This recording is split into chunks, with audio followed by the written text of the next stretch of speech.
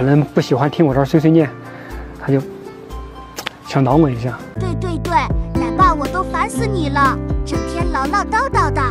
在韩国的时候，老宋每天唠唠叨叨个不停，把我们福宝烦得不行，生气给老宋一个大耳光。唉，在韩国有个宋三岁，每天都烦熊，好不容易熬到回国了，离开老宋了，回到家发现怎么又来个老宋？樊熊精二号又上线了，福宝吃个东西，徐奶爸也唠唠叨叨个不停。福宝表示受够了，烦死了，樊熊就想要安安静静的吃会东西，不行吗？惹到我我就打死你们！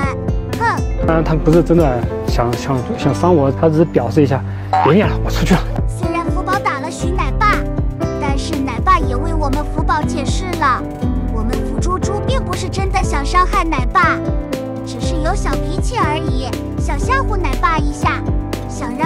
闭嘴，不要再唠叨了。徐奶爸，你这个人挺双标呀！面对粉丝，你是吓得能躲多远躲多远；面对？